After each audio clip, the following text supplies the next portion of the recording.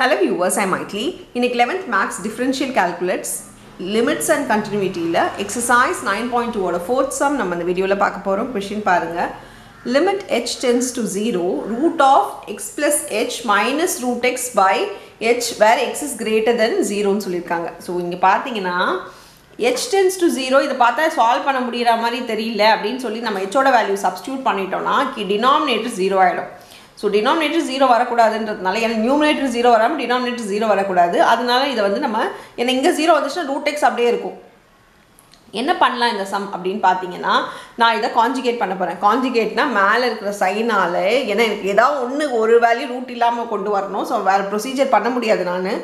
அதுக்காக root of இந்த வேல்யூவை நடுவில் சைன் மாற்றி நியூமரேட்டரையும் டினாமினேட்டரையும் நான் மல்டிப்ளை பண்ண போகிறேன் அதுதான் conjugate so limit x tends to 0 root of x plus h minus root x by h into root of x plus h plus root um, ப்ளஸ்ஸால் பண்ணணும். ஆப்போசிட் சைனால் பண்ணணும். இந்த டினாமினேட்டரில் இருந்தால் தானே அப்படி பண்ணுவோம்னா அப்படி அவசியம் இல்லை. நம்ம ஒரே விஷயம் மேலேயும் கீழே மல்டிப்ளை பண்ணும்போது அது நம்மளுக்கு கேன்சல் ஆகிடும் அப்போ நம்ம எந்த சேஞ்சுமே கொஷினில் பண்ணக்கூடாது. கொடுத்துருக்க கொஷினை நீங்களாக உங்கள் இஷ்டத்துக்கு நம்பர் மாற்ற முடியாது. அது அப்படியே தான் இருக்கணும். அப்போ நம்ம எதுவுமே பண்ணலை. மேலே கீழே ஒரே நம்பரால் மல்டிப்ளை பண்ணால் அது கேன்சல் ஆகிடும் அப்போ நான் கொஷினை நான் எந்த சேஞ்சுமே பண்ணலன்னு அர்த்தம். கேன்சல் பண்ணிடணுமானா கேன்சல் பண்ணுறதுக்காக நம்ம பண்ணலை.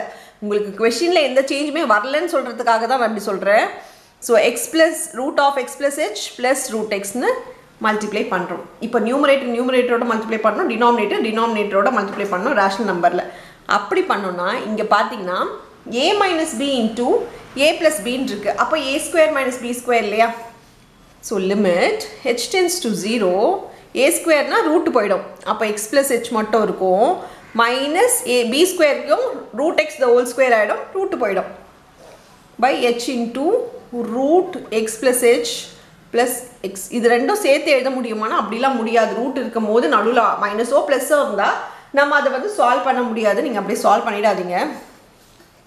இப்போ பாருங்கள் limit h tends to zero மேலே வந்து x plus h minus x by h root of x plus h plus root எக்ஸ்னு வரும். இப்போது ப்ளஸ் எக்ஸ் மைனஸ் எக்ஸ் நம்மளுக்கு கேன்சல் ஆகிடும்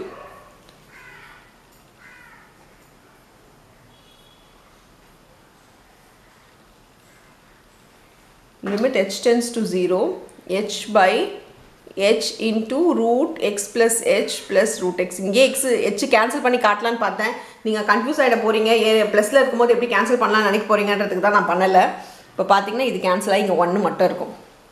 ஸோ இப்போ one by root of x plus h plus root x இருக்குது இப்போ சப்ஸ்டியூட் பண்ணுங்கள் ஜீரோவோட வேல்யூவை ஏன்னா ஹெச் டென்ஸ் டு ஜீரோலேயே அப்போ ஹெச்சுக்கு பதில் நம்ம ஜீரோ போட முடியும். அப்படி போட்டோன்னா ஒன் பை இங்கே என்ன ஆகிடும்னா நம்மளுக்கு எக்ஸ் ப்ளஸ் ஜீரோ ஆகிடும் root of x plus zero ஆகிடும் அப்போ வெறும் ரூட் எக்ஸ் மட்டும்தான் இருக்கும். ஏன்னா ப்ளஸ் ஜீரோ இருக்கிறதுனால ப்ளஸ் ரூட் எக்ஸ்னு ஆகிடும் இப்போ வேல்யூ சப்ஸ்டியூட் பண்ணிட்டதுக்கப்புறம் இங்கே லிமிட் எழுதக்கூடாது.